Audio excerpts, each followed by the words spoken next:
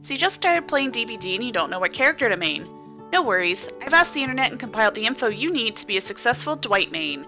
The first thing that you need to know about Dwight is that you need to hide in lockers like you've downed a laxative smoothie and those lockers are the happy little porta potties.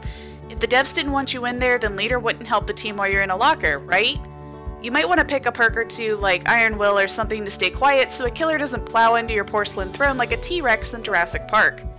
While this may seem very tame, some Dwight mains are known to snap, evolving into something terrifying. Elf Dwight. Killers will get looped, give up, and be relentlessly pursued by these Dwights who will prevent them from doing anything. A successful Dwight main will pallet stun, hook block, use head on, and hit every flashlight stun, all the while teabagging relentlessly. Elf Dwight is the reason the Geneva Convention exists. Dwight, leave me in my locker or I'll stuff your ass in there.